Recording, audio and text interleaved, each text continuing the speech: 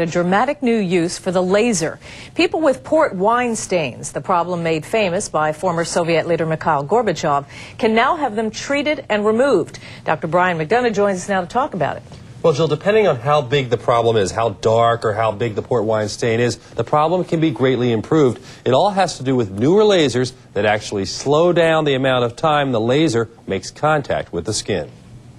But meeting people for the first time is the is the hardest, especially as a kid, because you're very self-conscious about it. You're different than everybody else. Bob Hammond was born with a port wine stain extending from his face to his chest. And my parents kind of, from day one, explored different alternatives, and there, there wasn't much when I was born.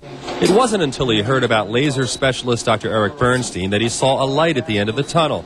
Bernstein admits his treatment is more the product of luck than design. Basically, out of frustration, and because I treat so many patients with port wine stains, I was able to see what's not working and what is working. What's sunlight what's laser. Dr. Bernstein works on selected areas. He zaps them with the laser. This destroys the blood vessels that can help cause discoloration of the skin.